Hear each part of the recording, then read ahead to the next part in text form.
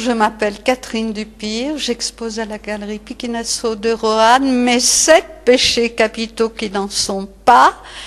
Euh, à part l'avarice, nous les avons tous pratiqués. Je vous attends demain, dimanche 14 avril, à partir de 16h pour euh, cette inauguration dans la joie.